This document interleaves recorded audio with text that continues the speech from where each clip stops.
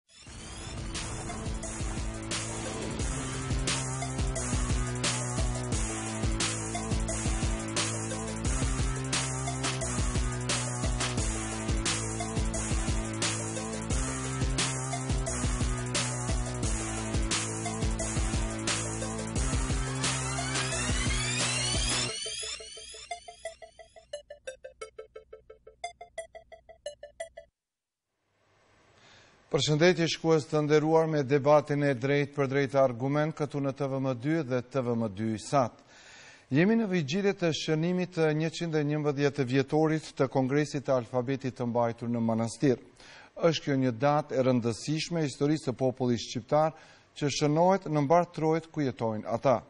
Në Maqedoninë e Veriut po organizohen një sërë aktivitetesh për shënimin sa më dinjitos të ditës së alfabetit. Edhe ne, sonte, panelin e argumentit, ia kushtojmë gjuhës Shqipe më konkretisht problemeve shqetësuese për shkrimin dhe të folurit e gjuhës Shqipe, përdorimin e gabuar të saj, rëndësisë së ruajtjes së standardeve të gjuhës Shqipe, mekanizmave dhe masave me të cilat gjuha shqipe do të ruhet kultivohet dhe zhvillohet. Të ftuar në panelin e sontëm në argument janë Ahmet Selmani, përfaqësues i Agjencisë për Zbatimin e Gjuhëve, Ajten Qamili, ligjëruese në Fakultetin Filologjik, Katedra për Gjuhë dhe Letërsi Shqipe në Universitetin Shën Kirili dhe Metodi në Shkup, dhe Aslan Hamiti, gjithashtu ligjërues në Katedrën për Gjuhë dhe Letërsi Shqipe pranë Universitetit Shën Kirili dhe Metodi në Shkup. Mysafirë të nderuar, mirë se erdhët në panelin e argumentit. Mirë se ju gjetëm. Ashtu siç thashë dhe në fillim, në shënimin e një jubileu të rëndësishëm, siç është 111-vjetori i mbajtjes së kongresit të alfabetit në manastir, ne po flasim për probleme shqetësuese për shkrimin dhe të folurit e gjuhës Shqipe. Profesoreshë, pse na ndodh kjo dukuri? Po, së pari më vjen mirë për ftesën që ma keni bërë për këtë festë, dhe zakonisht mediat dinë që në këto festa, sidomos 22 nëntorit dhe 7 marsit, t'i kushtojnë më shumë rëndësi gjuhës, do të kishte qenë mirë që këto emisione të shpeshtohen dhe të jenë edhe më të shpeshta brenda gjithë vitit, dhe njëkohësisht shfrytëzoj rastin që të gjithë teleshikuesve t'ua uroj këtë festë, një festë kaq madhështore, kaq të rëndësishme kombëtare, mbarëkombëtare, meqë Pikërisht në këtë festë është vënë gurthemeli apo unifikimi i gjithë shqiptarëve, jo vetëm në aspekt alfabetit, po edhe në aspekt të drejtshkrimit dhe të gjuhës zyrtare. Sa për çështjen e problemeve që ne hasim në në jetën tonë të përditshme, se si përdoret apo se si zbatohet Shqipja standarde, është një çështje shumë komplekse, e cila është shtresuar me vite, me dekada të tëra edhe me vite të tëra, ndër ne dhe faktorët janë nga më të ndryshmit, qofshin ato gjuhësorë dhe jashtëgjuhësorë, më të shumtit janë faktorët jashtëgjuhësorë që të cilët ndikojnë në këto shmangje nga normat, normat letrare. Më shumë do të kisha thënë çështja e kujdesit apo vëmendjes që kushtohet nga vetë shqipfolësit apo shqiptarët për ta mësuar shqipen standarde, duke filluar që nga familja në shkollë fillore dhe pastaj duke vazhduar më tutje në arsimin e mesëm dhe të lartë. Por, këto janë faktorë për shkak se shkollimi këtu në fillim, domethënë në Maqedoninë e Veriut nuk ka qenë arsimi i mesëm nuk ka qenë i domosdoshëm, në njërën anë nuk kemi pasur shkolla shqipe, mësimdhënësit kanë qenë jo të gjithë të kualifikuar, janë një numër i madh i shqiptarëve janë shkolluar në gjuhët sllave, qoftë maqedonisht apo serbokroatisht, dhe të gjitha këto kanë ndikuar që shqipja të mos mund të mësohet ashtu siç duhet. Tani viteve të fundit, dukuri tjetër e cila Tani më kemi shkolla në gjuhën shqipe, qofshin ato shkolla të mesme, apo edhe universitete kemi në gjuhën shqipe, po tani një dukuri tjetër që prish apo që ndikon në shmangien e shqipes standarde është edhe epoka e digjitalizimit. Rinia e sotme, dhe jo vetëm rinia, po njerëzit e sotëm, më mirë do të kisha thënë, më shumë janë, ia kanë mësyrë çështjeve të internetit dhe jo të lexojnë apo libra të cilat vërtet janë të redaktuara nga nga gjuhëtarë të të mirëfilltë dhe kështu që kur ajo kur shqipja standarde nuk mund të të lexohet ashtu siç duhet dhe të mësohet ashtu siç duhet, ajo pastaj në vend që të përcillet në gjeneratat e reja në mënyrën e duhur, ajo përcillet në mënyra të të dobëta. Në anën tjetër është edhe një dukuri tjetër e njerëzve të cilët përzgjedhin këtë drejtim qoftë mësuesisë, apo qoftë edhe sepse që në klasë fillore dhe jo vetëm ata arsimtarë që nga klasa e gjashtë që u japin gjuhë shqipe, edhe ata sa janë nxënës të mirë, sa i kushtojnë vëmendje mësimit, mësimnxënies, se si i marrin diplomat, domethënë është një varg dukurish dhe nuk bëhet fjalë vetëm nga një çështje e cila ndikon në prishjen e standardit. Profesor, në një një një jubile të këtillë, siç është njëqindenjëmbëdhjetë vjetori, kuptohet se ka vend për të folur edhe për të arritura dhe avancimet e zhvillimit të të gjuhës. Po ja për fat të keq që jo vetëm në Maqedoninë e Veriut apo në Kosovë, por edhe në Shqipëri, po flitet me të madhe për për për gabimet që po ndodhin gjatë përdorimit të folurit dhe të shkruarit të gjuhës shqipe. Sipas jush, ku do t'i dedikoshit ato problemet më kryesore që ndikojnë në këtë dukuri? Edhe unë shpreh kënaqësinë time dhe që jam pjesëmarrës i këtij kësaj këtij emisioni tuaj me titull Argument.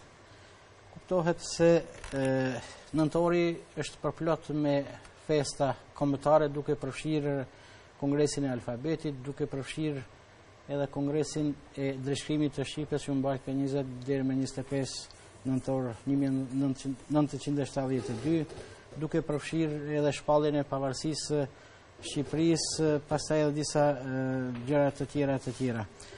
Edhe pas këtyre 111 vitesh të të njësimit të alfabetit si edhe të mbajtjes së kongresit të drejtshkrimit gjithsesi ne përballemi me probleme të shumta në zbatimin e normave letrare dhe për atë arsye se në rend të parë standardi është një ideal të cilin duhet ta synojmë të gjithë por assesi nuk po arrijmë që ta arrijmë këtë ideal të zbatimit të normës Dhe këto probleme nuk janë probleme që shfaqen vetëm në Maqedoninë e Veriut, por këto probleme të thyrjeve të normave të moszbatimit të normës po na shfaqen gjithandej ka flitet shqipja përkasisht edhe në Shqipëri, edhe në Kosovë, edhe në Maqedoni.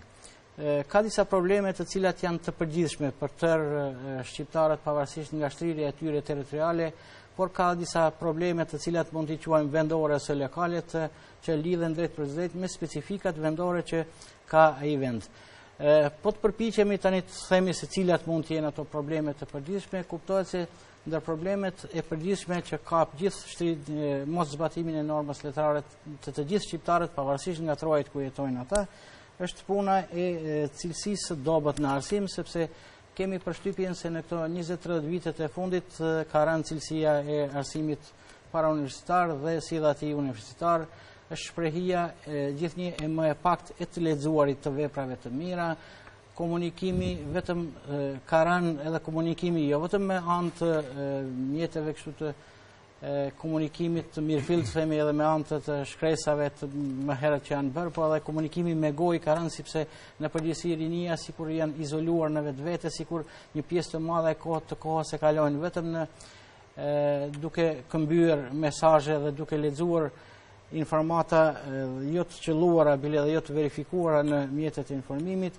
nga ana tjetër edhe interesimi i vetë të një pjese të madhe të rinjve nuk është aq sa i nevojshëm me një këtë varitet e nevojshme ose me, me, përqëndrimin e tyre të nevojshëm për të mësuar këtë gjuhë nga ana ndikimi i gjuhëve të huaja po kështu ka bërë një, po themi, ka ndikuar negativisht dhe siç thonë edhe disa gjuhëtarë të tjerë që kanë konstatuar duke përfshirë këtu në këtë rast po përmendim edhe profesor Gjovalin Shkurtaj i cili është një ndër gjuhëtarët më të mëdhenj shqiptarë tanimë gjallë që është thotë të gjitha gjuhët po marrin nga gjuhët e tjera por ne si duket ne shqiptarët po marrim më shumë se, se të gjithë të tjerët Dhe kjo do thotë se ne duhet do thotë të kujdesemi çfarë po marrim se është e pamundur që të izolohemi plotësisht dhe të mbyllemi vetëm në guaskën tonë, në guaskën e shqipes, por patjetër se do të marrim, do të huazojmë, por duhet të huazojmë vetëm elemente gjuhësore përfshirë edhe pjesë të leksikut, fjalë, edhe forma gramatikore dhe elemente të tjera gjuhësore vetëm atëherë kur nuk i kemi tonat. Ne për fat të mirë kemi një shqipe të pastër, një shqipe të kulluar, një shqipe të mirë, një shqipe të bartur brez pas brezi, dhe këtë brumë të mirë gjuhësor që e kemi ne, vetëm duhet ta përpunojmë, duhet ta kultivojmë, dhe se ajo do të jetë në gjendje t'i përmbushë të gjitha nevojat edhe të kohës së sotme. Vetëm në rastet kur nuk mund të gjejmë zgjidhje brenda shqipes, atëherë ne mund të kërkojmë ndihmë edhe nga gjuhë tjera, përkatësisht të pranojmë edhe elemente të huaja. Zoti Ahmet, edhe pse sonte në Argument jeni ftuar në cilësinë si përfaqësues i Agjencionit për zbatimin e gjuhëve, mirëpo nuk mund të anashkalohet se ndoshta jeni njëri prej personaliteteve që më tepër ngritni zërin kur bastardohet, kur keqpërdoret, kur gabohet në përdorimin e gjuhës shqipe. A mund të na thoni disa thekse të veçanta se pse po na ndodh kjo? Shikoni, çështja e zbatimit ose përdorimit të gjuhës në praktikë është një çështje shumë e ndjeshme. Kjo nuk ndodh vetëm nga institucionet, konkretisht ne ballafaqohemi për çdo ditë nga shkresat, aktet e ndryshme që vijnë në Agjencinë për zbatimin e gjuhëve për t'i përkthyer ose për t'i lekturuar, por ndodh kudo në jetën shoqërore dhe arsimore, kulturore, kështu me radhë. Kjo ndodh për shkak të natyrisht ka faktorë të shumtë që ndikojnë këtë. Në radhë të parë, unë do të thoja se është edukata gjuhësore. Ne bazën e arsimimit e kemi shumë, shumë të dobët, sepse çdo gjë fillon nga shkolla, nga klasa e parë, nga shkronjat. Meqë jemi në prag të shënimit të kongresit të alfabetit, pra gjithçka që lidhet me shkronjat, është mirë që ne ta shohim veten në sy, t'i shohim pra gabimet që i bëjmë, duke filluar pra nga shkolla. Unë mendoj se problemi më i madh që kjo vetëm po thellohet, kjo këto gabime që i shohim për çdo ditë qëndron pikërisht te mungesa e leximit. Pra nuk mund ne të nxjerrim një nxënës të edukuar gjuhësisht pa lexuar letërsi. Privimi nga letërsia, shmangja, largimi nga letërsia, vetvetiu e çon atë drejt analfabetizmit, ose drejt shtrembërimit të gjuhës. Kjo duhet të shërbejë si një apel për të gjithë shqiptarët, për të gjithë shqipfolësit që pa lexim nuk ka gjuhë. Domethënë, gjuha është vetvetiu ushqim që merret nga letërsia.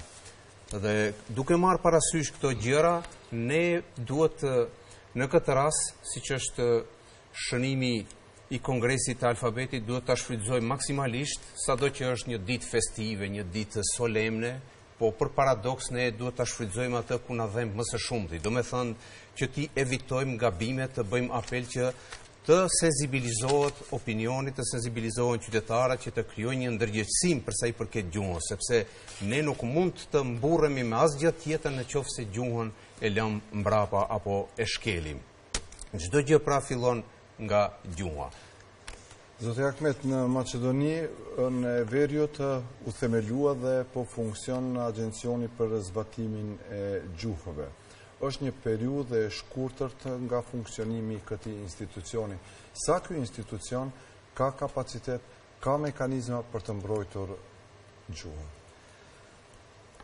Qëllimi i këtij institucioni që nga themelimi, formimi i tij, domethënë ka të bëjë me zbatimin e gjuhës, e ligjit të gjuhëve.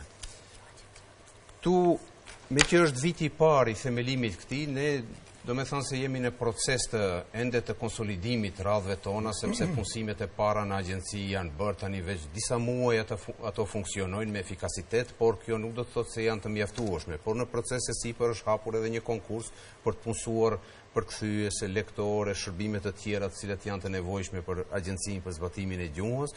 Po ashtu, pas vitit të ri janë paraparë edhe një grup tjetër të cilat po ashtu do të përfshihen në procesin e punës së agjencisë. Unë mendoj se të gjitha këto gjithsej janë paraparë 74 të punësuar që të ketë kjo agjenci, duke përfshirë të gjitha edhe strukturat teknike, administrative, burimet njerëzore, kështu me radhë. Por Normalisht ne nuk në qoftë se marrim në tërësi zbatimin e gjuhës shqipe në administratën publike, në institucionet shtetërore, nuk mund t'i bëjë të gjitha punët agjencia për zbatimin e gjuhës. Agjencia vetëm mund të ndihmojë, domethënë, në përkthimin e teksteve të nevojshme, tekstet bazë që janë, në lekturimin e teksteve, kështu me radhë, por jo të gjitha punët që u përkasin vetë institucioneve, sepse Puna e përditshme nëpër institucione, sidomos në zonat dygjuhësore ku jetojnë shqiptarë dhe maqedonas, aty patjetër institucionet duhet të formojnë sektorët apo njësitë e tyre që do të punojnë pra, përkthyes, lektorë e kështu me radhë. Po tani për tani ne po u dalim në ndihmë institucioneve dhe po e kryejmë punën tonë me efikasitet. Dhe më vjen mirë që pikërisht kjo kjo gjë po ndodh Edhe në ditën e shënimit të alfabetit, kur Agjencia për Zbatimin e Gjuhës po përfshihet në këto aktivitete, jo vetëm në punën praktike të përditshme, por edhe në në pjesën solemne të sot ishim për shembull në Institutin e Trashëgimisë Kulturore e Shpirtërore të Shqiptarëve, ku edhe agjencia si bashkëpjesëmarrëse në këtë aktivitet Po ashtu edhe aktivitete të tjera kemi paraparë të cilat do të zhvillohen në periudhën e ardhshme, kështu me radhë. Profesoreshë, jeni e njohur shumë afër me punën e agjencisë për zbatimin e gjuhëve. Jeni e inkuadruar e kyçur si bashkëpunëtore, si këshilltare. A vlerësoni se me formimin dhe ekzistimin dhe funksionimin e mirëfilltë të këtij agjencioni, do të ruhet sadopak gjuha shqipe do të ruhet nga... Pa dyshim se po. Unë ja së pari dua të them kështu. Para një viti fiks më duket, kur kam qenë e ftuar në këtë emision, edhe kemi diskutuar çështjet se si do të kisha dashur unë që të duket agjencia dhe si do të kishte dashur që të funksionohet, që të gjitha ato sugjerime apo ide që kam dhënë, të gjitha kanë filluar më të zbatohen dhe janë pranuar, janë përqafuar nga nga agjencia dhe ka filluar të punohet. Domethënë atë që unë dua të them është së pari, edhe mediat, po edhe popullata në përgjithësi nuk i ka të qarta disa çështje lidhur me kompetencat së pari të agjencisë me misionin dhe vizionin që ka agjencia dhe prandaj gjithmonë përpiqet t'ia mveshë kritikave apo të sulmojë agjencinë. Do të kisha filluar me këtë, secili shqiptar, Pavarësisht përkatësisë partiake, apo fetare, apo qyteti, apo çfarëdo qoftë që të jetë, unë them që agjencinë duhet ta shohë si një si një shtëpi të veten, si një institucion i cili do të jetë i, i mbarë shqiptarëve dhe do të na ndihmojë për të dalur mbanë dhe t'i zgjidhim të gjitha problemet, të gjitha çështjet që ne i kemi. Nuk duhet që agjencia të personifikohet me një individ e dua apo s'e dua qoftë drejtorin apo Ahmetin apo mua apo tjetrin dhe menjëherë të të sulmojmë dhe të kritikojmë. Numër një nuk është detyrë dhe nuk është as kompetencë, po as edhe përgjegjësi e agjencisë që secili problem apo mbishkrim që del në ndonjë market apo në ndonjë kavanoz të ndonjë ku e di unë specat e qëndisura që të kishin edhe menjëherë dalin kritika të kësaj natyre, nuk është përgjegjëse agjencia. Agjencia për detyrë e ka të përkrahë të gjitha institucionet të cilat do të kërkojnë ndihmë. Dhe ne bile, agjencia pa kërkuar ndihmë u ka ofruar ndihmë të gjitha institucioneve. Dhe çfarë është ajo më kryesorja? Më kryesorja është që agjencia ka për detyrë dhe e ka paraparë në programin e vet përpos konferencave shkencore që i ka dhe kemi mbajtur, kemi filluar të mbajmë dhe do të mbajmë me të gjithë gjuhëtarët më eminentë nga të gjitha trojet shqiptare dhe jo vetëm nga ky vend këtu brenda, të bëjë trajnimin e të gjithë gjuhëtarëve, qofshin ata lektorë apo përkthyes, që punojnë nëpër institucione të ndryshme, apo edhe ata të cilët janë studentë nga vitet e fundit dhe të cilët duan të kryejnë praktikën, domethënë, do të trajnohen, do të marrin licenca apo certifikata për shkallën të cilën ata e kanë kaluar dhe natyrisht që këto licenca dhe këto certifikata do të vlejnë në të ardhmen për avancimin e tyre në punë apo edhe për edhe për punësim nëse nuk janë të punësuar. Në anën tjetër dua edhe këtë ta them, në këtë agjenci janë të përfshirë të gjithë gjuhëtarët. Domethënë duke përfshirë të gjithë profesorët në katedrën e gjuhës dhe letërsisë shqiptare këtu në Shkup, të gjithë profesorët në Tetovë, qofshin ata profesorët e gjuhës në Universitetin Shtetëror të Tetovës edhe ato të Shtulit. Gjuhëtarët më eminentë nga Shqipëria, nga Kosova dhe nga jashtë, duke përfshirë Xhevat Lloshi, Rami Memushaj, Emil Lafe, Gjovalin Shkurtaj, Tomor Osmani, Bardhyl Demiraj, e shumë e shumë të tjerë, domethënë emra të cilët janë mund t'i quajmë ne si baballarë të gjuhës shqipe dhe të gjithë janë të përfshirë. në këtë agjenci, disa si bashkëpunëtorë të jashtëm, disa si këshilltarë të jashtëm, disa do të marrin pjesë nëpër trajnime, domethënë, secili prej gjuhëtarëve, do këtu do të ketë mundësinë, domethënë, këtë dua ta them, jo gjuhëtarët të kritikojnë agjencinë, po të gjithë gjuhëtarët do të kenë mundësinë dhe ja ju jepet rasti, të japin kontributin në atë vend, në atë pikë që ata janë më të zoti dhe më të profiluar, që ne të ngrisim dhe të krijojmë kuadro më të mira, se ne vetëm shohim të gjejmë kritika dhe apo të ankohemi nuk kemi kuadro, nuk kemi kështu, nuk kemi cilësi, po atë cilësi e kemi krijuar të gjithë ne së bashku, duke filluar sistemi shtetëror politik, arsimi që është kalbur që në zanafillë duke vazhduar edhe më tutje, po tani në këtë dështim që kemi rënë, ne duhet të dalim me zgjidhje të tjera dhe mund të bëjmë diçka, nuk është se nuk mund të bëjmë, megjithatë, nuk mund të presin tani populli mrekullira dhe ne nuk e kemi në dorë shkopin magjik edhe pum edhe gjithçka u rregullua u bë, sepse të gjitha shtetet në gjithë botën kanë probleme me çështje drejtshkrimore dhe nuk mundemi ne tani mbrenda një dite të gjithë t'i bëjmë të gjithëdijshëm dhe të gjithë të mos bëjnë fare gabime kjo do natyrisht një kohë po përmes trajnimeve, dalëngadalë, duke u filluar, duke u shmangur dhe duke u zvogluar numri i gabimeve, do të fillohet të krijohet një besoj një grup elitar të cilët do të fillojnë të të përdorin së pari vetë shqipen standarde mirë, pastaj ata do të fillojnë t'ua transmetojnë dhe t'ua përcjellin brezave të rinj dhe kështu që dalëngadalë me kalimin e kohës, ne do të fillojmë që të kemi atë cilësi që ne e kërkojmë. Profesor, si katedër, keni bashkëpunim me agjencinë e sapoformuar? Keni komunikim? Po, gjithsesi, gjithsesi kemi. Kemi pasur dhe kemi ç'është e vërteta që në hapat e para, ose që në detyrat e para që kishte marrë agjencia edhe para formimit të saj, duheshte të rishikojmë përkatësisht të shohim emërtimet e 1300-1400 më duket se emrave të institucioneve të përkthyera nga maqedonishtja në shqip, i kishte përkthyer dikush tjetër dhe ne ende pa u formuar kjo agjencia, ne u angazhuam praktikisht ne anëtarët e katedrës për të bërë ose për të rishikuar këto versione të përkthyera të këtyre emërtimeve të institucioneve të Maqedonisë së Veriut. Pastaj kemi marrë pjesë në një Tryezë të rrumbullakët ta quajmë një konferencë që u mbajt tani së shpejti më duket në 30 shtator. 30 shtator. Në ditën e përkthimit, mirë, keni të amë...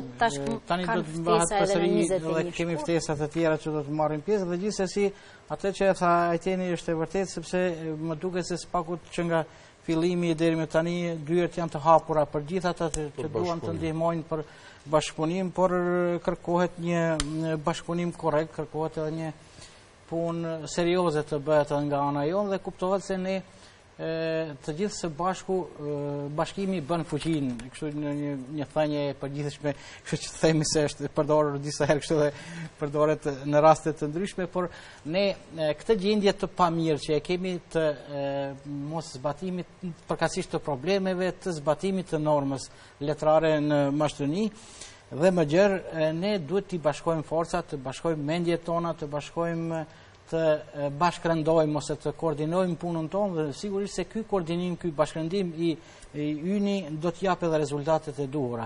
Kuptohet edhe nëse, sepse jo vetëm ne, po themi gjithë intelektualët dhe përgjithësisht gjuhëtarët në Maqedoni që jemi, por kemi edhe përkrahjen dhe ndihmën edhe të gjuhëtarëve të tjerë duke përfshirë gjuhëtarët e Kosovës dhe të Shqipërisë po. dhe se mendoj se punët do të na shkojnë për së mbari nëse vërtet punojmë ashtu siç duhet. Do të kisha dashur po. vetëm edhe këtu të ndërlidhem po. me profesorin, sepse është momenti besoj me festën që lidhet, unë do të desha të them sikurse Kongresi i Manastirit në 1908 që i bashkoi shqiptarët të të gjithë feve, të të gjithë kufive dhe të gegë, toskë dhe nga të gjitha trojet, agjencia sot duhet të shihet si një institucion i asaj natyre i cili do të bashkojë shqiptarët në të gjitha trojet edhe për të unifikuar terminologjinë, sepse ne tani ndeshemi edhe me probleme të kësaj natyre përpos që kemi probleme të zbatimit të shqipes standarde me ato ë-jat, me apostrofat, apo duhet kështu të përkthehet, a me shkronjë të madhe, apo me të vogël, ne kemi probleme edhe të unifikimit të terminologjisë, sepse për të njëjtin emërtim të qoftë i institucionit apo termi të çfarëdoshëm, ndryshe përdoret në Shqipëri, ndryshe përdoret në Kosovë dhe ndryshe ne këtu, duke përkthyer nga maqedonishtja apo serbokroatishtja dhe tani ne agjencia e ka marrë përsipër në bashkëbisedim po e cek me të gjitha institucionet nga të gjitha vendet, jo vetëm nga Maqedonia, që të merren do të bëhen seminare apo kongrese që të unifikohet terminologjia aty ku ka hapësirë. Sepse për çështjet juridike të cilat dallojnë edhe në aspekt të rregullimit administrativ apo ligjor juridik siç është në Maqedoni dhe në Shqipëri, në ato raste ne nuk mund të bëjmë një unifikim meqë ndryshe përdoret atje për arsyet e tyre dhe ndryshe do të përdoret këtu te ne dhe jo gjithmonë ne të marrim model, prandaj këtë ua bëj me dije shikuesve, jo të shohim kështu është përdor në Shqipëri ose kështu është thënë në Kosovë dhe këta të agjencisë apo këta të Maqedonisë së Veriut e përdor, e kanë gabim, domethënë duhet të shohin edhe këta. Zoti Ahmet, sipas ligjit për gjuhët, çdo institucion në Maqedoninë e Veriut ishte i obliguar që në afat prej 6 muaj të bëjë edhe përkthimin e emrit të institucionit edhe në gjuhën shqipe. Këtu ka ngecje, Afati po tejkalohet, mirëpo prapë siç tha edhe profesoresha Ajten, çdo kritikat po drejtohen në momentin ndaj agjencisë po drejtohen, ne për fat të keq ende nuk po funksionon, nuk është formuar inspektorati, i cili ka për kompetencë dhe për detyrë për t'i gjobitur të gjitha ato institucione të cilat bëjnë shkeljen e ligjit. Po çka do të bëhet deri n'at vakum kohor të formimit të inspektoratit? Shikoni pikërisht këtu qëndron ai ajo keqkuptimi sepse u theksua këtu roli, cili është roli i agjencisë për zbatimin e gjuhës. Vetë fjala zbatim, domethënë nuk ka kompetenca apo detyrime që ajo të gjobisë dikënd apo të sanksionojë, të ndëshkojë. Roli i agjencisë është që të ndihmojë në procesin e zbatimit të gjuhës shqipe. Qoftë në, në Institucionet kur kërkojnë akte, shkresa të ndryshme, marrëveshje, ku di unë çfarë gjërash të tjera, në qoftë se na drejtohen neve dhe kërkojnë ndihmë për t'ua përkthyer ose për t'i lekturuar, ne e bëjmë atë me me shumë kompetencë nga ekipet tona që i kemi. Por, për sa i përket zbatimit dhe moszbatimit të kësaj nga institucionet, ose më saktësisht të themi refuzimi që bëhet nga pala maqedonase, jo nga të gjithë, por nga një pjesë, ende bëhet. Ne u kemi dërguar një pyetësor të gjitha institucioneve për të parë se si qëndron gjendja në institucionet e tyre, lidhur me përkthimin. A kanë përkthyes, sa është numri i tyre, Dhe në qoftë se s'kanë, pse nuk e kanë? Si mendojnë që ta zbatojnë këtë? Pse nuk e zbatojnë ose kur do ta zbatojnë e kështu me radhë? Por afati siç shihet deri më 15 janar ai përfundon. Faza e parë, pra kjo është, domethënë përkthimi i tabelave, logove dhe vulave. Një pjesë e institucioneve këtë e kanë bërë dhe ne të gjithë e shohim duke filluar që nga qeveria. Më parë ne nuk e kemi patur edhe qeveria e Republikës së Maqedonisë së Veriut, por sot e kemi. Sado që duket formale ajo gjë, por aty fillon çelësi pra, aty është. Dhe pastaj fillon edhe gjërat e tjera. Por një pjesë e institucioneve të tjera nuk e kanë bërë. Dhe pikërisht me këtë për t'i detyruar që ta zbatojnë këtë do të merret inspektorati i për zbatimin e gjuhës, pra e ligjit të gjuhëve, që është në veç, e ka kaluar në, në parlament, në procedurë parlamentare, dhe se kjo do të merret me, po. me këtë gjë, dhe jo agjencia për zbatim. Inspektimin së pari dhe po, pas Zonja Mexhaz Hoxha tha që keni vizituar dhe institucione. Po. Më intereson edhe mendimi i panelistëve se a vlerësoni, a mendoni se çdo institucion shtetëror, Në kuadër të vet duhet të ketë të punësuar gjuhësor. Mos ta quaj redaktor gjuhësor. Sa kjo kategori e të punësuarit mungon në institucionet vendore? Pa dyshim që mungon në zonat dygjuhësore, ose së paku 20% e atyre që e flasin ndryshe pra nga maqedonishtja, domethënë ka plot institucione të atilla që ne kemi parë që edhe institucione me traditë, institucione të mëdha që janë, po kanë vetëm nga një të punësuar, ose nuk kanë fare. Dhe kjo është një problem shumë serioz. Tani, pse nuk e kanë bërë këtë deri tani, dhe kur do ta bëjnë, nëse do ta bëjnë ndonjëherë, është çështje tjetër që duhet të bisedohet me ata, por me këtë do të, unë mendoj se pas vitit të ri, andaj kur të fillojnë gjërat të dalin në shesh, duhet të gjendet një zgjidje përsa i përket. Ndërkaq, përsa i përket agjencisë për zbatimin e gjuhës, ajo gjithmonë është në në disponim për t'i ndihmuar institucionet, ashtu siç vazhdojmë ne ta bëjmë këtë me përkushtimin shumë, me një përkushtim shumë të madh, por gjërat janë kështu siç janë, sepse unë e shoh që kjo është një proces që nuk mund të të të mbyllet ose të zgjidhet brenda ditës. Ne e dim para 10 apo 20 vitesh në çfarë gjendje ka qenë gjuha shqipe, e cila ishte pothuajse një gjuhë e përjashtuar nga nga rrjedhat shoqërore, një gjuhë terra incognita, nëse mund ta quajmë kështu, ndërkaq sot ku është? Domethënë, përparim ka, por tani a është e mjaftueshme? Nuk është, ne e dimë të gjithë atë, por nuk duhet të bëhemi atë vetë t'ia t'ia vëmë kazmën tani kjo që është formuar. Unë nuk dua tani të bëj këtu as avokatin e agjencisë për zbatimin e gjuhës, por vërtet kjo është një institucion që Po ju them një gjë kështu, ndoshta është edhe sekret që në këtë agjenci kurrë nuk flitet për politikë, vetëm për çështje të përkthimit, të gjuhës, të lekturimit e kështu me radhë. Pra, as drejtori, as përfaqësuesit e tjerë, as të punësuarit kurrë nuk diskutohet. Ky është lajmi. Madje madje as vetë njerëzit e qeverisë, të pushtetit kurrë nuk e hapin telefonin të të bëjnë presion apo këtë atë. Domethënë kjo kjo është për t'u entuziazmuar në njëfarë mënyre. Dhe ne të gjithë këtë, siç e tha Iteni, të gjithë ne duhet këtë ta ndjejmë si tonën, sepse ka të bëjë me gjuhën shqipe. Gjuha shqipe nuk është vetëm e agjencisë për zbatimin e gjuhës. Gjuha shqipe i përket çdo shqiptari, çdo shkolle, çdo institucioni, çdo universiteti. Prandaj ne duhet ta ndjejmë këtë si tonën.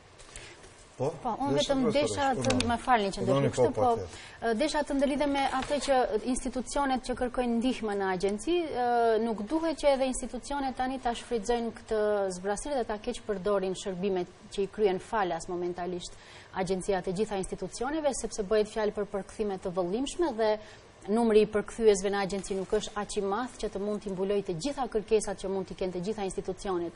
E përmendi profesori me shifër janë vetëm 1300 afër 1400 institucione, po plus edhe të tjera. Domethënë duhet të kenë parasysh të gjitha institucionet dhe kjo duhet pastaj të shihet me rregulloret e tyre të brendshme, me sistematizimet e secilit institucion, që në secilin vend varësisht nga vëllimi i punës që kanë dhe nga numri i të punësuarve, të hapin qoftë sektor të përkthimit dhe të lekturës në secilin institucion, qoftë nëse ka nevojë vetëm për një apo dy individë. Ka institucione të cilët kanë vetëm një përkthyes dhe ua nxjerrin shpirtin gjithë ditën me të gjitha llojet e shkresave të gjithë institucionit dhe natyrisht që kur bëhet fjalë edhe për çështje kohe, për çështje trysnie, atëherë edhe kushedi sa i mirë të jetë përkthyesi, atëherë natyrisht që mund të bëjë edhe lëshime. Domethënë edhe kjo është njëra prej dukurive e cila rrit numrin e gabimeve. Prandaj duhet që këtë çështje ta kenë parasysh.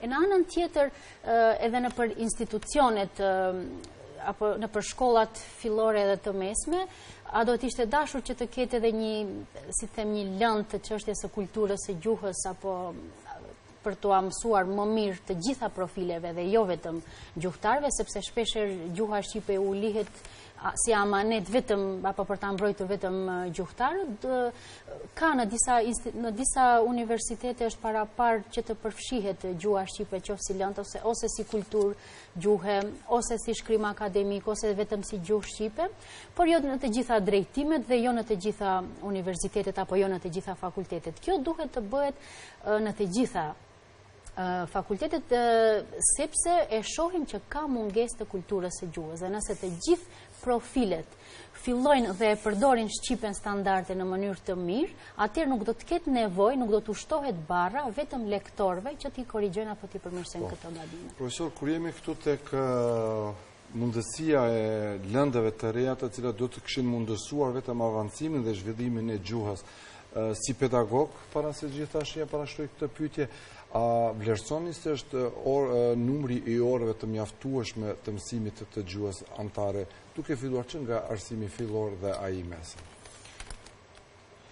Mu për shkak të problemeve të kulturës së dobët gjuhësore dhe praktikimit të saj të dobët në jetën e përditshme, po flitet dhe po bëhen disa përpjekje jo vetëm në Maqedoni, por e kam fjalën edhe në Shqipëri dhe në Kosovë që të ndërmerret diçka që nga arsimi fillor, i mesëm dhe ai universitar në mënyrë që vërtet të bëhet diçka në të mirë të përmirësimit të përdorimit të shqipes standarde. Dhe nga ato me disa informata që kam, është po bëhet një përpjekje që të në programet mësimore, lënda e gjuhës të ndahet nga lënda e letërsisë në shkollat fillore dhe në shkollat e mesme, dhe kjo nismë është marrë dhe po diskutohet si mundësi e tillë në Shqipëri dhe në Kosovë, dhe kuptohet se ajo pastaj do të jetë gjithëpërfshirëse, mendoj se Është do të ishte mirë që nëse veç edhe Shqipëria dhe Kosova do të zbatonin këtë që shqip, gjuha shqipe si lëndë të ndahet nga letërsia në mënyrë që të arrihen rezultate më të mira në punën e ngritjes së vetëdijesimit së parit të shqiptarëve për përdorimin e gjuhës dhe pastaj të ngritjes së kulturës së gjuhës, mendoj se do të ishte një punë e mirë që edhe te ne të bëhet një ndarje e tillë, përkatësisht të një lëndë më vete të llogaritet gjuha dhe më vete letërsia, por kuptohet se këto pastaj se duhet të ndërlidhen sepse në programet mësimore ndërlidhja e njohurive, ndërlidhja e diturive është më se e domosdoshme, bile edhe ndërlidhja jo vetëm midis gjuhës dhe letërsisë, por edhe fushave të tjera bie fjala edhe të gjuhës me matematikën, të fizikës me me kiminë etj etj.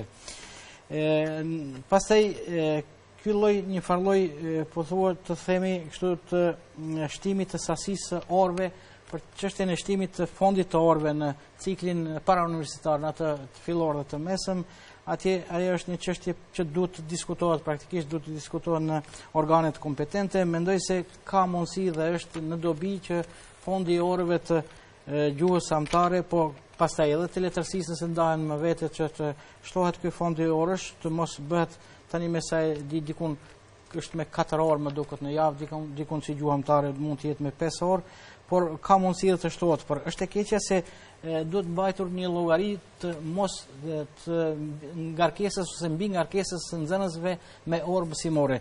Patjetër se nëse duhet të ngarkojmë me orë më shumë, themi edhe dy orë plus ia shtojmë gjuhës edhe në letërsi, atëherë duhet të heqim diçka nga angazhimet e tjera që kanë ata në lëndët, që kanë në lëndët e tjera.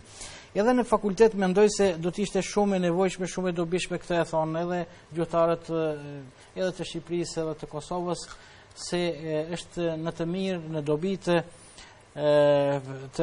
të përparimit të zbatimit të shqipes dhe të njohjes së shqipes është edhe ajo që në çdo fakultet të kemi edhe lëndë të gjuhës të jenë lëndë të domosdoshme në çdo fakultet pa marrë parasysh se si lëndë obligative, si lëndë obligative, ah, lëndë e obligueshme, po, jo lëndë me zgjedhje dhe po. fakultative në disa vende kanë pasur. Unë e mbaj mend në fakultetin tonë një kohë të gjatë deri vonë edukata fizike ka qenë lëndë me zgjedhje, por e domosdoshme, që do thotë se ka qenë lëndë e domosdoshme, më pas dikur u hoq nga lëndë e domosdoshme, doli në kategorinë e lëndëve fakultative dhe tani është hequr fare. Mendoj se kultura e gjuhës, e cila mund të quhet tani kulturë gjuhe, mund të quhet gjuha në praktikë, mund të mund të emërtohet me me emra të ndryshëm. Ajo është e nevojshme, është dhe e domosdoshme bile të futet në të gjitha programet mësimore të çdo fakulteti, përfshirë edhe shkrimin akademik. Profesoreshë, nga përvoja juaj si mësimdhënëse në universitet, është e vërtetë se kandidatët kur vijnë për studime më tepër anojnë nga letërsia dhe më pak nga gjuhësia, për shkak se është më e vështirë? Varet, kjo është çështje shumë individuale, nuk mund të them se të gjithë anojnë, disa janë të prirur dhe u pëlqen më shumë letërsia, për shkak se letërsia është më joshëse në njërën anë, është më e këndshme, më...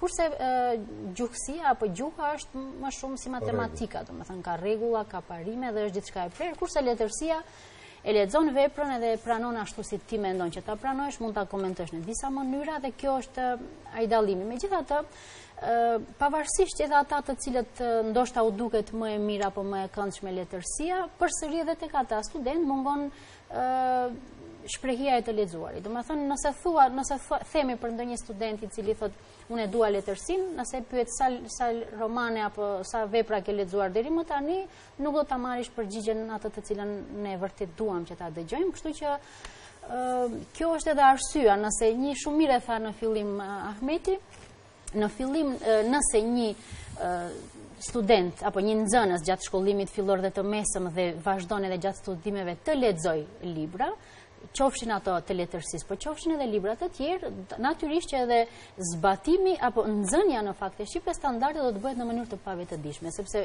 gjuha nuk mundet brenda, ne e kemi lëndën drejtshkrimi i gjuhës shqipe në në katedër dhe e ligjëroj unë dhe unë nuk mundem brenda një viti, brenda dy semestrave, t'jua mësoj studentëve një diçka që nuk e kanë mësuar 12 vjet me radhë. Domethënë është e pamundur që ajo të, të mësohet dhunshëm, pavarësisht që unë përdori metoda edhe teknika të cilat me ato mjeshtëritë që të mund diçka të paktën të zvogëlojnë prej gabimeve që i kam përdorë, megjithatë nuk është e mundur, sepse ajo është një diçka që është futur në trurin e tyre në formë të gabuar dhe nuk mund të rregullohet brenda një periudhe të shkurtër. Prandaj them se duhet të lexojnë, rinia e sotme, nxënësit apo edhe studentët nuk lexojnë librat që u duhen patjetër për provime, ne do të presim të lexojnë letërsi. Zoti Ahmet, a do të ishte i qëlluar një hap të ndërmerret për shembull kur ekzistojnë tre universitete në gjuhën shqipe në Maqedoninë e Veriut, Universiteti Shtetëror i Tetovës, Universiteti Nënë Tereza, Universiteti i Evropës Juglindore, që lënda e gjuhës shqipe të bëhet obligative në çdo fakultet, pa marrë parasysh është drejtim ekonomik, është drejtim juridik, është drejtim i mjekësisë. Ka nevojë studenti për të njohur elementet thelbësore të gjuhës amtare. Personalisht, unë mendoj se gjuha amtare duhet të jetë e detyrueshme.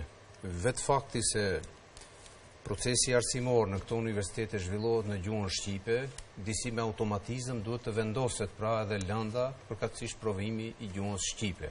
Tani, se si do të bëhet ajo, ose si duhet të bëhet, është çështje tjetër, mund të diskutohet. A mund të ndërmerren edhe iniciativa, pse jo? Normalisht, vetë institucionet duhet ta bëjnë këtë, por Unë mendoj se ka një një diskrepancë, një shpërputhje për sa i përket kësaj, sepse është krijuar një mendësi e çuditshme kur kur u bën vërejtje ta zëmë një ekonomisti, apo një juristi, apo një mjeku, se nuk, nuk jam thotë unë i gjuhës, arsyetimi i tij është nuk jam i gjuhës, nuk ka nuk jam i gjuhës, ti derisa del para studentve të ligjërosh për çështjet juridike, duhet të flasësh po, duhet ti, para së gjithash, ajo bëhet me gjuhë, nuk bëhet me me terminologi juridike. Ti duhet të jesh një shqipfolës i mirë, nuk ka si jam unë i kësaj gjuhe, apo nuk më përket mua. Kjo është një, një mendësi shumë, shumë e turpshme të, të thuhet kjo.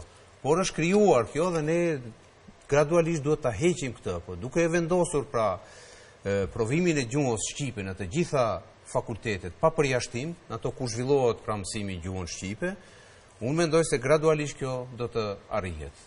Profesoreshë, folëm, kritikuam shumë institucionet, t'i kthehemi vetes. ku janë mjetet e informimit? Ku gabojmë ne më shumë? Duke filluar që nga theksi, shqiptimi, dialekti, po pse jo edhe drejtshkrimi, se tani me teknologjinë e re, kemi edhe shkrime edhe në televizion. Mediat kanë një përgjegjësi shumë më të madhe, sesa që mund ta ketë një mësimdhënës, meqë mediat me një emision të vetëm shkollojnë apo përcjellin mesazhe në numër shumë më të madh. të të shikuesve. Prandaj duhet të jenë shumë shumë të vëmendshëm në në në në çdo aspekt, në çdo drejtim. Ëm duhet jo vetëm që të ketë një lektor apo do, jo një, po të, të ketë dy a tre lektorë secili se, secili institucion domethënë, secila media, po edhe vetë gazetarët duhet të kenë kujdes në përdorimin e, e shqipes. Sa për, ja, vetë nga theksi, meqë e përmendët vetë theksin, vetë u futët aty, tani po ju kritikoj ju drejtpërdrejt këtu. Vetë emërtimi i shtetit tonë, Maqedonia e Veriut dhe Maqedonia e Veriut, shqipja standarde e ka marrë përdorimin e theksit e Veriut, dhe jo e Veriut. Forma e Veriut, veri, njeri, qiri, është e gegërishtes verilindore. Domethënë është një element dialektor, mbase i pëlqen bukur dikujt, varet nga prejardhja që është apo nga përkatësia dialektore, e përdor këtë variant dikush tjetër duke e dëgjuar mendon se kjo është forma e saktë dhe kështu vazhdon ta përdorë, por në fakt duhet të kemi ja që në këtë moment këtë fjalë duhet ta përdorim kështu. Dhe jo për shembull maqedonas, po maqedonas. Dhe kështu me radhë, është një numër i madh i këtyre rasteve. Një diçka tjetër që shumë më pengon për mediat dhe sinqerisht kam reaguar në, në shumë institucione, është moslakimi i emrave, sidomos i emrave të huaj, në rasën përkatëse. Sapo flasim ne për një shqiptar, menjëherë themi Fatos Musliu apo Fatos Musliun, e fusim në rasat përkatëse sipas fjalisë. Kur bëhet fjalë për ndonjë të huaj, tak e përdorim në mënyrë të ngurosur. Erdhi Zaev, i tha, për shembull, po e marr vetëm si model, domethënë, pse ndryshoka rregulli për shqiptarët, apo për njerëzit, që janë shqiptarë dhe ndryshon për eh, emrat e huaj. Domethënë, ky rregull vlen për të gjithë emrat, qofshin të huaj, apo edhe jo. Eh, në aspekt eh, të të folurit po ashtu, gabohet shumë edhe përdorimi i mënyrës lidhore, që është një dukuri që buron që nga variant shumë i vjetër i të folmes dibrane, domethënë që nga shkrimtarët e vjetër të lashtë, dhe tani kjo, edhe pse disa nga gjuhëtarët e trajtojnë sikur është ndikim sllav, por nuk është ndikim sllav, po është një formë e vjetër nga e folmja e Dibrës, sepse Dibra ende sot e kësaj dite ashtu e përdor dhe ashtu e kanë përdor edhe shkrimtarët e vjetër të Dibrës së Madhe, është, për shembull, të shkon, ai të shkon, ai të merr, ai të jep. Është formë e gabuar. Domethënë duhet ai të shkojë, ai të japë, ai të marrë. Domethënë duhet të përdoret me mënyrën lidhore dhe jo të përdoret me kohën e tashme. Por domethënë përzihen disa elemente të kësaj natyre që është keq për ta dëgjuar. Në aspekt shqiptimor po ashtu ë që është po ashtu veti dialektore është të shqiptuarit të zanoreve të buzorëzuara, për shembull a-të, më të, me e-të, më të zgjatura, apo më hundore, duhet tani ai i cili merr për detyrë që ta kryejë detyrën e gazetarit apo udhëheqësit, duhet që ta ushtrojë veten të përpiqet në mënyrë maksimale t'u shmanget këtyre veçorive individuale, qofshin ato edhe të idiolektit të vet, po edhe të dialektit të vet, dhe të, të shqiptoj ashtu siç duhet. Nëse bëhet fjalë për aspektin e të shkruarit, ajo që më së shumti gabojmë dhe na i vret sytë, numër një, fillojmë me zanoren ë, ajo është më problematike për shumë shkaqe, meqë ë-ja luan një rol shumë të rëndësishëm në, në, në drejtshkrimin e shqipes, duke filluar ajo përdoret edhe për çështje të aspektit morfologjik, domethënë për ta treguar a është emër i gjinisë femërore, për shembull fushë, kujdun, çanta apo çfarëdo qoftë tjetër, apo nëse është nëse tregon shumësin, për shembull një shkrimtar, disa shkrimtarë, apo nëse tregon për shembull a është në mënyrë lidhore, ai të shkojë apo unë të shkoj. E keni parasysh domethënë janë disa luan shumë funksione të rëndësishme, në anën tjetër ka edhe funksione të aspektit të, të parimeve etimologjike dhe historike tradicionale, për shembull një numër i madh i emrave të cilët kanë qenë emra të gjinisë asnjanëse, si mjaltë, dhallë, brumë, gjalpë, apo edhe vetë fjala ujë, kalë, lumë, burrë, emrat disa të dajë që tregojnë frymorë që janë të gjinisë mashkullore, këto për shkaqe të mënyrës të traditës së të shkruarit janë shkruar me ë fundore dhe tani këto gabohen për shkak se ne nuk i shqiptojmë. Domethënë nëse shihet aspekti, ne nuk e kemi drejtshkrimin 100% fonetik, të bazuar në parimin fonetik,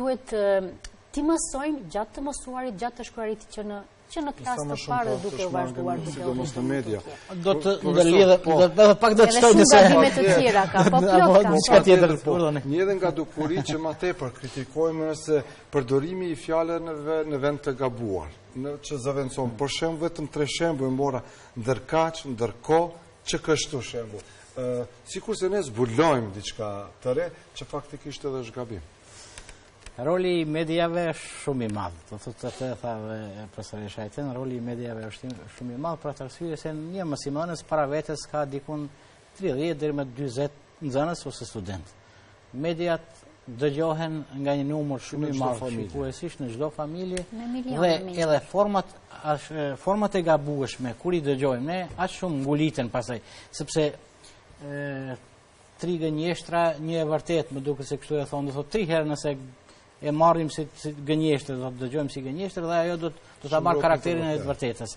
E pra e kam fjalën se aq shpesh nëse veshi ynë do të mësohet t'i dëgjojë këto forma të gabueshme dhe ne mendojmë pjesa më e madhe e njerëzve mendon se mediat shpërfaqin ose edhe edhe rrezatojnë norma, do thotë ashtu siç flasin në media, ashtu edhe ato janë norma dhe ato norma pastaj do të nguliten edhe edhe për shkak të asaj se edhe për shkak asaj se në shkollë bie fjala në orë të mësimit arsimtari mund ta thotë por aty për aty, por ditë për ditë kur i dëgjojmë ato forma të gabueshme ato pastaj do të nguliten.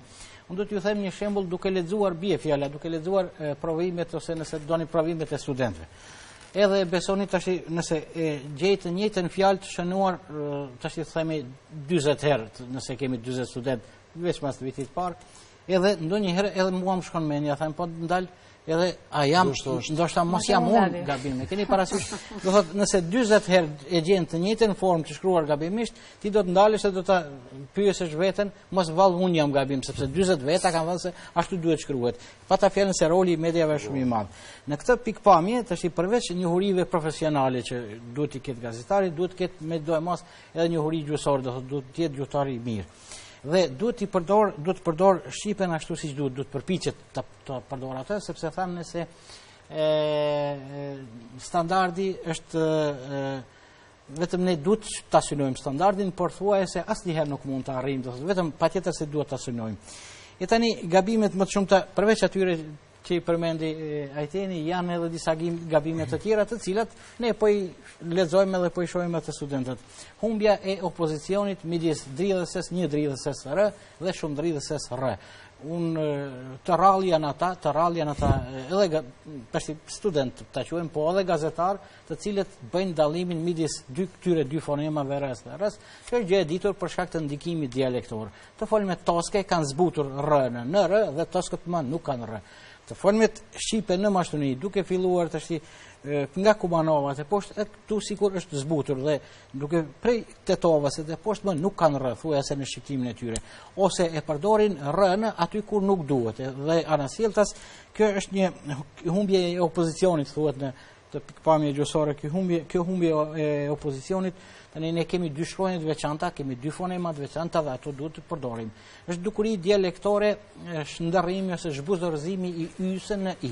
Nuk e keni ju, sepse keni jeni pjesëtar i të folmes së gegërishtes verilindore dhe nuk e keni atë, sepse y-në e përdorni mirë, ashtu siç e përdor edhe gjithë Kosova, po, por por ndonjëherë përdoret gabim, krejt gegërishtes, gegërishtes qendrore, këtu duke filluar që këtu prej Kumanove deri në Strugë, dhe duke përfshirë edhe disa të folme të tjera atje që kanë vazhdimësi gjuhësore tokësore me Shqipërinë, e kanë zhbuzorëzuar y-në në i.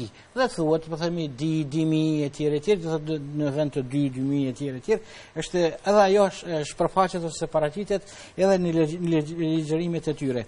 Pastaj përdorimi i gabueshëm i rasave e tha të mos e përsëris unë atë përdorimin e gabueshëm të rasave sepse ka rregulla, ne bile për këto çështje të përdorimit të zbatimit të normës ne shpeshherë i kemi kushtuar edhe punime të veçanta duke marrë pjesë me kumtesa të veçanta edhe në konferenca shkencore dhe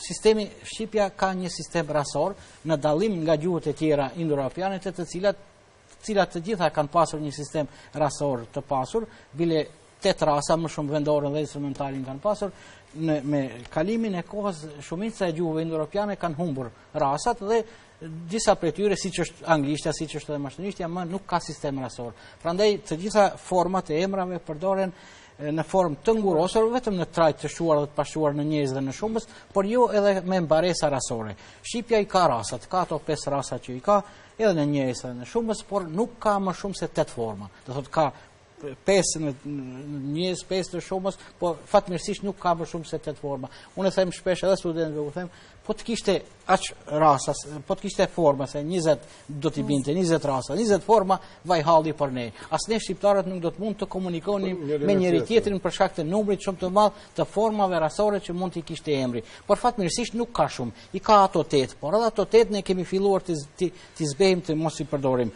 është rregull që çdo në shqipen, në shqipen çdo emër pavarësisht nga burimi i i tij, domethënë pavarësisht a është me burim oriental, është me burim nga anglishtja, gjuhët e tjera, tjera gjermanishtja, frëngjishtja, kur përdoret në shqip duhet t'i përshtatet sistemit rasor të shqipes në në në të folur. Në të shkruar është pikëpyetje, them pikëpyetje sepse diskutohet në mesin e gjuhëtarëve, e kemi diskutuar, kam marrë pjesë edhe unë në ndonjë nga këto diskutime dhe është thënë A do të mbahet forma origjinale e shkrimit të emrave ashtu siç e kanë në shkrimin origjinal me alfabetin latin apo ajo do të transliterohet me alfabetin e shqipes? Edhe këtu gjuhëtarët janë të ndarë në dy mendime. Disa mendojnë se duhet të shqiptohet të shkruhet ashtu siç e lexojmë ne pavarësisht në drejtshkrimi e ruan që duhet duhet ta ruajmë formën origjinale. Origjinale keni parasysh me ato CH, SH që nuk i ka alfabeti i shqipes. Dhe ajo që duhet t'i përshtaten sistemit rasor, janë të gjithë të një mendimi se duhet t'i përshtaten. Por, pas emrit, ato mbaresat rasore të shënohen me një vizë, kështu është mendimi i përgjithshëm, domethënë, bie fjala Shumaher, tash vë një vizë, it, in, e tjera, e tjera, ashtu siç do t'i vinte. Ama është e palejueshme që të mos përdoren në sistemin rasor. Pështjellime të tjera, mosdallimi i gjinisë përemr, së gjinisë së përemrave vetorë, ata dhe ato. Është përsëri çështje dialektore. Dialektore e të folmeve shqipe këtu në Maqedoni, edhe disa të folmeve toske, ata burra, ata gra. Ka dhe të folme shqipe në Maqedoni që nuk e bëjnë këtë dallim ata ato, edhe për njërin edhe për tjetrin. Përdorimi i panevojshëm i përemrave vetorë para foljeve. Tashi unë mendoj se, tashi kjo unë mendoj se, meqë shqipja foljet në gjuhën shqipe kanë edhe mbaresa foljore dhe ato mbaresa foljore tregojnë edhe vetën. Nëse thua, nëse them unë mendoj, automatikisht nënkupton se unë por nuk ka nevojë ta mbitheksoj, ta theksoj. Kjo është ndikim i anglishtes meqë anglishtja gjithë kohës I, I. Edhe frëngjishtja. Je travaille, je travaille, tu travailles, il travaille. Tash më kuptoni je tu il. Ama edhe veta e parë, edhe veta e dytë, edhe veta e tretë e ka travaille, travaille, travaille. shqip ni dhe e ka të domosdoshme frëngjishtja përpara, ose të thotë unë, ose ti, ose ai, ose ajo, sepse të gjitha tri format i ka të njëjta, i ka travaj, travaj, travaj, dhe e ka të domosdoshme, thotë po, zhë, se s'ka se si. Po. Mandej edhe format të tjera, të tjera, të ashti... Pastaj përdorimi i apostrofit, po ashtu. Në shkrim përdorimi i apostrofit, renditja e fjalëve sipas një gjedheje së huaj, sipas sintaksave të huaja, sepse mediat një pjesë të madhe të informatave i marrin nga mediat e huaja, nga burimet e huaja, po bie fjala nga anglishtja, nga gjermanishtja, më shumë të thotë tani në Maqedoni dhe nga maqedonishtja e tjera e tjera, dhe ne shkojmë sipas gjedhes së huaj. Gjedhja e huaj nuk çon askund. Ne praktikisht jo që duhet t'i përkthejmë, ne ato gjëra duhet t'i shqipërojmë, do thotë t'i t'i bëjmë tamam si të shqipes që që duhet të jenë një përkthim i fjalëpërfjalshëm atë të mos e flasim për përkthimin e fjalëpërfjalshëm po themi që duhet patjetër edhe ato të mënjanohen, por sido që të jetë, sido që të jetë, tani të mos, po t'i shikojmë gjërat pak edhe në mënyrë pozitive, të themi, megjithatë, megjithatë, ka do lëvizje, kemi ne edhe gazetarë të mirë, kemi edhe folës të mirë, kështu edhe spikerë të mirë, themi, edhe prezantues të mirë, është fatmirësi që kemi në në Maqedoni, do thotë, edhe gazetarë të mirë, por disa sikur nuk janë në nivelin e duhur të zbatimit të normës dhe sikur kanë nevojë ndoshta pak më shumë të kenë kujdes në mënyrën të përgatiten praktikisht dhe të kenë kujdes fundja po, mënyra ka mund mund të shtjell mund të kërkojnë informata nga fjalorët po themi drejtshkrimorë nga fjalorët e tjerë mund të kërkojnë ndihmë nga gjuhëtarët Dhe e dyta ndoshta pikërisht ajo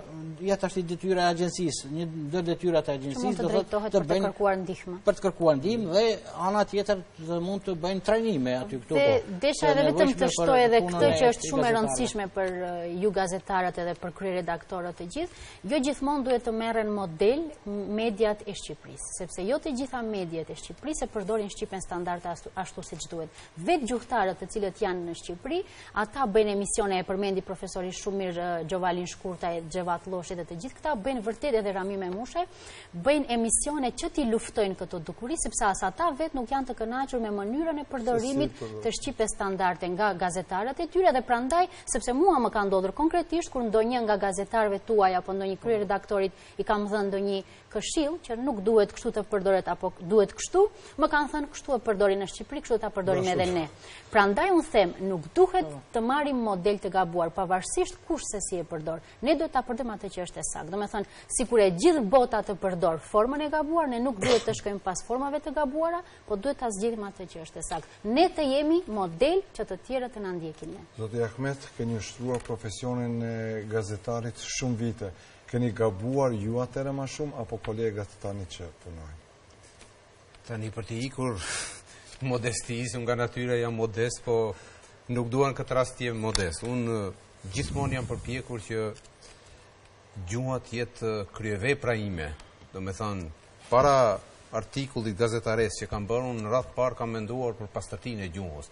Unë shpesh bëja Edhe aventura do t'i quaja, në fjalëformim, ta zëmë. Jam përpjekur shpesh kam plasuar fjalë të reja, të cilat kam dashur t'i zëvendësoj disa gjëra, disa janë përqafuar, përdoren aty këtu, por disa nuk kanë patur sukses. Po këtë desha ta ndërlidh se ndryshe është gazetaria e shkruar, ndryshe është gazetaria televizive. Ndikimi i gazetarëve televizivë është jashtëzakonisht i madh, ndoshta ndoshta edhe i paimagjinueshëm. Domethënë, kur ai e plason një fjalë gabimisht, ajo është domethënë kontaminim, një lloj helmimi është. E fut atje sepse plot njerëz ka që nuk janë të vetëdijshëm dhe ata e përqafojnë e marrin atë, pastaj ajo përhapet në mënyrë shumë të madhe. Ne i kemi ta zëmë, kemi rastin e medieve në Shqipëri. është një tendencë atje, të bëhem pak arrogant tani, një tendencë idiote për të krijuar lloj-lloj foljesh, ta zëm për palestër, njeriun që ushtron atje thot palestron, palestroj, ose ai që bën koncert thot koncertoj, koncertoje, ose tani që e dëgjova në Top Channel një ditë thot do pantonim, pan, pantonimosh thot ti për pantomim, kupton? Pantomimoj. Shikon deri deri ku shkon kjo kjo tendencë, ose mos flasim pastaj për fjalët e huaja që surprizë, nuk thot befasi, ose akses, apo suport, lloj-lloj, domethënë, kemi të bëjmë me një ndotje të madhe të gjuhës, që për fat të keq këtë, kjo vjen nga ana e gazetarëve të papërgjegjshëm, por edhe nga vetë mediat të cilat e tolerojnë këtë. Dhe thashë unë që Një gazetar i mirë, i kultivuar, që e do gjuhën shqipe, ashtu me dashuri pra të pashoqe, ai mund të kontribuojë jashtëzakonisht shumë, sepse ndikimi i tij është jashtëzakonisht i madh. Ne për fat të keq në në mjedisin tonë na na mungojnë këta lloj gazetarësh.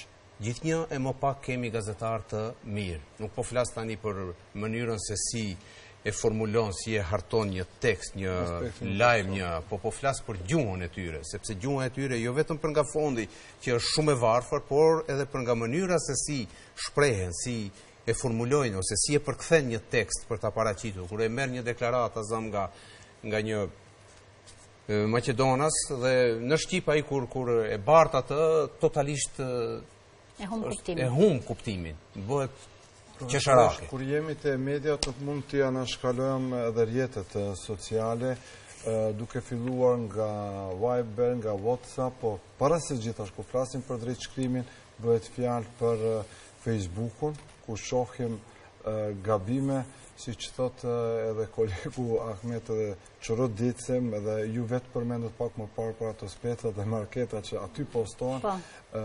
Si mund të luftohet kjo bastardimi i gjuhës në rjetët sociale? Kjo është tani një dukuri shumë e rëndë dhe shumë e vështirë për të kontroluar.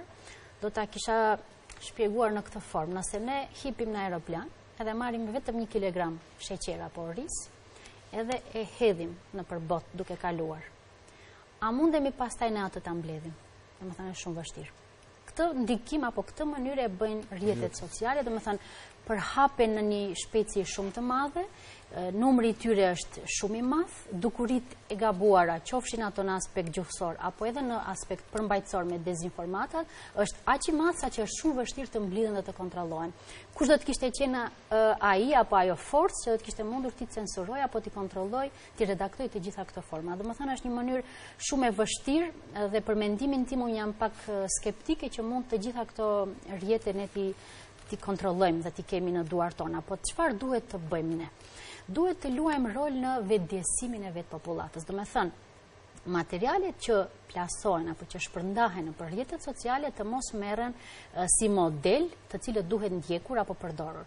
E shoh që ka nëpër Facebook edhe nëpër faqe të tjera grupe gjuhtarësh apo gjuhëdashës do t'i kisha quajtur kështu, të cilat vërtet bëjnë përpjekje dhe përhapin forma se si duhet të përdoret apo të trajtojmë çështje problematike apo se si duhet të përkthehen, por jo të gjithë njerëzit janë të interesuar për ato lloje të faqeve dhe më shumë shohin variante të ndryshme. Njerëzit duhet të jenë të vetëdijshëm, të vetëdijesohen që materialet që i lexojnë aty të mos i marrin të gatshme si të tilla, por format të cilat janë të dyshimta është mirë të kontrollojnë dhe të shohin drejtshkrimin qoftë fjalor, domethënë e kemi mundësinë tani me teknologjinë e re, fjalorin drejtshkrimor e kemi online, është drejtpërdrejt në internet, mund të shkarkohet falas, fjalor shpjegues, fjalorë të ndryshëm i kemi në internet dhe të cilat mund t'i shohin dhe të konsultohen apo t'i shohin se si duhet të shkruhet, po edhe vetë libri i drejtshkrimit i cili po ashtu është edhe në formë elektronike, Për një çështje të cilat a duhet të jetë me një t, apo duhet të jetë me s, apo duhet me shkronjë të madhe, apo të vogël, mund ta shohin secili vetë aty dhe nuk ka nevojë të të marrin modele nga, nga variantet që shkruhen. Sa për punën e Viberit apo Whatsappit, këto janë më çështje më, më individuale, më të mbyllura dhe aty më përdoren edhe forma, edhe forma shumë të cunguara, edhe shkurtesa, jo FLM, ku e di unë KLM e ku ta di unë se çka, domethënë janë shumë më shumë, ajo më ajo fare fare nuk duhet të merret për model, po edhe këto mbi apo materiale që shkruhen, sepse zakonisht Facebooku e, e, e shfrytëzon atë hapësirën për të nxjerr tekste pak më të mëdha, nuk duhet të merren si të si të them si model. E tani secili individ edhe këtë duhet ta ketë parasysh, nëse e quan veten qytetar akademik, intelektual, ndonjë drejtor i ndonjë institucioni apo ministër, Nëse dëshiron që diçka të postojë dhe ta përhap, qoftë ndonjë kritikë apo qoftë apo diçka tjetër, duhet të ketë kujdes në mënyrën se si e shkruan, sepse mund t'i ndodhë bumerang.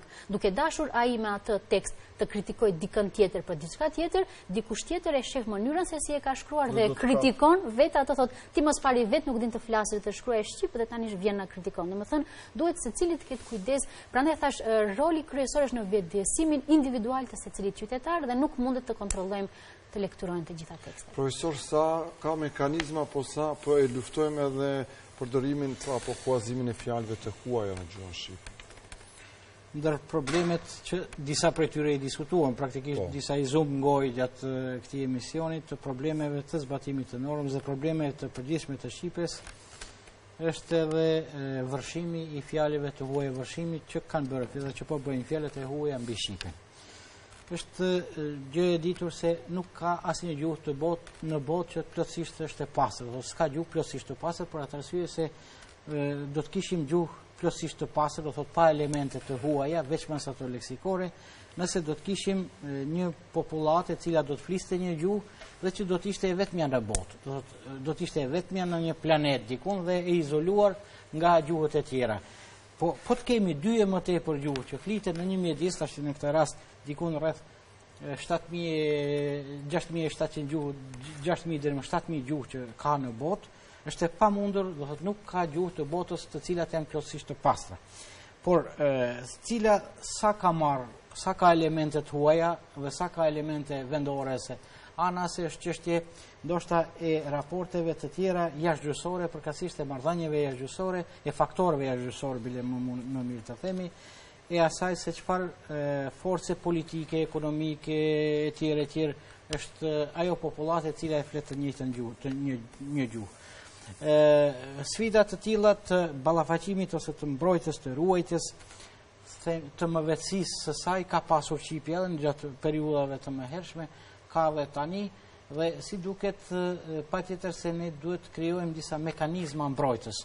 Është fjala sikur tashti është shumë kjo punë e krahasueshme depërtimi i fjalëve të huaja në mënyrë të pakontrolluar në shqipen, do të ishte shumë e krahasueshme me depërtimin e të huajve pa pasur doganë. Do thotë pa pasur fare kufi, pa pasur kontrollim kufitar, do të vinte është po e njëjta gjë. Është e njëjta gjë sepse mund të vërshojnë, mund të vërshojnë njerëzit nga vise të ndryshme në këtë rast edhe fjalë nga gjuhë të tjera dhe ne ne është e pamundur të, të mos pranojmë fjalë të huaja. Është e pamundur për shkaq shkaqe të ndryshme mu për shkak të kontakteve që ka shqipja me gjuhët e tjera, për shkak tani edhe të intensifikimit të komunikimeve që bëjmë të shpeshta që bëjmë ne për shkak të procesit të globalizimit dhe për shkak të ballafaqimit të shqipes dhe të shqiptarëve me popuj dhe me gjuhë të tjera, ne nuk mund të izolohemi dhe të të mbrojmë në gëzhojën tonë këtë shqipe që e kemi, patjetër se do të kemi marrje dhe dhënie, do thotë edhe mund të japim, por edhe mund të mund të marrim. Por gjithsesi ne duhet të kemi një mekanizëm mbrojtës. E kam fjalën do të themi se çfarë po importojmë, çfarë po bartim. është një politikë ekonomike që e kanë disa shtete, po e krahasoj për të qenë ndoshta pak më e kuptueshme ndoshta për shikuesit është një politikë ekonomike që zbatohet edhe nëpër disa shtete të tjera, të cilat sjellin ligje të posaçme për mbrojtjen e prodhimit vendor. Nëse Bie fjala, nëse Maqedonia prodhon mollë, prodhon bie fjala oriz, prodhon lakra, tranguj e tjera e tjera, nuk ka nevojë të importojë lakra dhe tranguj nga shtetet e tjera. Me këtë dua të them se nëse shqipja ka dhe është një gjuhë e pasur e cila ka shumë fjalë, dikund po themi për terme, është e domosdoshme terme do thotë ose të shqipërohen ose të merren si si ndërkombëtarizma që janë dhe të futen në shqipen dhe të përdoren ato shumica prej tyre veç më kanë hyrë dhe janë mishëruar me shqipen që më nuk mund të hiqen dhe ndjehen më nuk ndjehen se është trupi i huaj në Shqipen, apo se nuk janë më të huaja, sepse janë mishëruar shumë mirë me Shqipen, se për një kohë sa më të gjatë të rrinë ato elemente të huaja në, në Shqipen, aq më mirë ato përshtaten, dhe tani më është e pamundur të ato të hiqen nga përdorimi. Por e kam fjalën se për ato fjalë që ka Shqipja të vetat, nuk ka nevojë t'i, t'i marrë ose t'i huazojë nga gjuhët e tjera, sepse i kemi tonat. Dhe rruga e pasurimit të Shqipes është e ditur. Çfarë është? Do thotë të përdoret gjithherë fjala shqipe ka përparësi ndaj fjalës së huaj. Kjo është një parim i përgjithshëm, do thotë në atëherë kur kemi një fjalë ta respektojmë të gjithë. Atëherë kur kemi një fjalë shqipe, patjetër vendin e parë do thotë duhet të përdorim atë fjalë shqipe që e kemi. Rruga tjetër e pasurimit ka mundësi, nëse nuk e kemi, ka mundësi të përkthehet ose të kalkohet. Kalkimi është mbi modelet e një fjale të huaj, por Ajo mbikalim, nënkalim, për shembull, se mund të krijohet një fjalë tjetër. Mandej shqipja edhe gjuhët e tjera kuptohet ka forma të shumta të fjalëkrijimit ose fjalëformimit, e dini atë dihen mësohet edhe nëpër shkolla me anë të parashtesimit, prapashtesimit, parashtesimit dhe prapashtesimit njëherazi me përngjitje me konversion etj etj. Dhe këtë mënyrë të formimit, do thotë këtë pasuri të madhe të mënyrës së formimit, po ta shfrytëzojë, mund të krijojë fjalë e fjalë të tjera saqë ka jo vetëm për vete, po ka ka mundësi edhe të të të eksportojë bile edhe, edhe për gjuhë të tjera të shpërndajë fjalë atë që ka. E, forma tjetër e pasurimit është letërsia. Do thotë letërsia.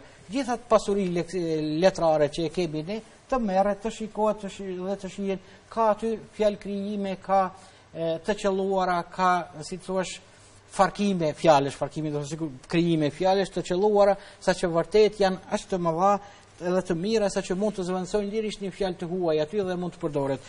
Mund t'i përdorin edhe njerëzit e në edhe në jetën e përditshme, edhe bile edhe përkthyesit e mirë mund të krijojnë ndonjë fjalë. Mund të krijojnë ndonjë fjalë shumë të qelluar, shumë të mirë dhe ajo mund të përgjithësohet. Unë desha po vetëm të ndërlidhem me këtë. Nuk është se gjithmonë mungojnë fjalët në Shqipe dhe prandaj ne i marrim, po puna po, është se sa ne vetë Shqiptarët arrijmë që t'i dim, ta njohim leksikun e Shqipes. Shqipja ka një leksik vërtet shumë të pasur. Nëse krahasojmë tani me gjuhët e tjera botërore, nuk mund themi që është më e pasura në botë, nëse shohim anglishten, arabishten apo gjuhë të tjera, megjithatë llogaritet në grupin e gjuhëve bukur mirë të pasur dhe nuk është një gjuhë e varfër. Nga gjithë ai leksik që ka, kemi variante që është mbi 53.000, 80.000, domethënë deri këtu qarkullon si fjalë të parme të Shqipes, njerëzit apo Shqiptarët në, si të them në leksikun e tyre individual, mezi se njohin një numër diku 5-6.000 fjalë, nuk besoj se edhe më tepër fjalë njohin. Po edhe një dukuri tjetër që ndërlidhet këtu. Shumë njerëz mendojnë që nëse përdorin fjalë të huaja, e tregojnë veten apo e dëshmojnë veten që janë njerëz intelektualë, janë njerëz të shkolluar, janë më modernë apo ku ta di. Domethënë duhet të kenë kujdes edhe në këtë. Domethënë janë dy çështje. Numër 1, duke lexuar të shohin njëherë fjalët që janë ekzistuese, sepse mua shumë shpesh më ndodh që fjalët më elementare që janë nëpër lektyrat që në shkollë fillore, studentët tanë nuk i dinë. Edhe më pyesin çfarë është kjo fjalë. Domethënë imagjinoni sa është i varfër leksiku i tyre, në anën tjetër përdorin variante të gjuhëve të huaja, të cilat jo gjithmonë i përdorin në vendin e duhur. Ja dhe një rast konkret. Vjen një student pak me vonesë dhe më thotë, profesoreshë, a, mund të prezentoj në orë? Tani si do ta kishit kuptuar këtë. Unë nuk e kisha të qartë, mendova se do të dalë personi dhe do të prezantojë mësim apo, sepse prezentimi këtë kupton. Studenti apo studentja s'ka rëndësi, hyri në klasë, ulet dhe pret, unë tani pres, them, a do të prezentosh? Po jo, tha ai, jam prezent. E keni parasysh, domethënë, jo gjithmonë edhe fjalët që ne i përdorim të huaja i qëllojmë në vendin e duhur edhe në mënyrën e duhur.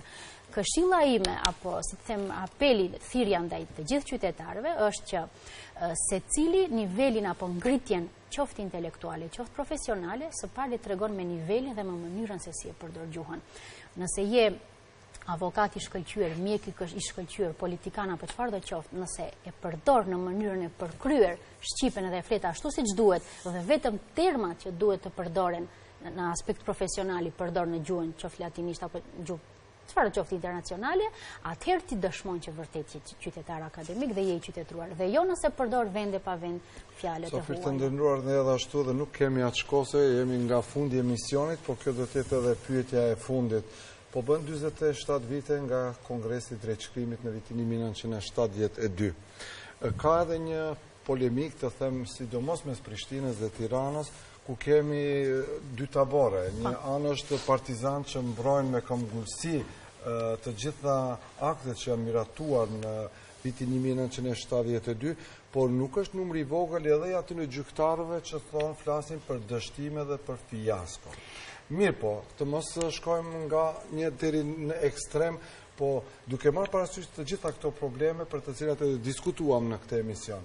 Ka nevojë për një kongres të drejtshkrimit për gjuhën shqipe, po. Ka ardhur momenti për të bërë disa ndryshime, për të pastruar disa paqartësi për...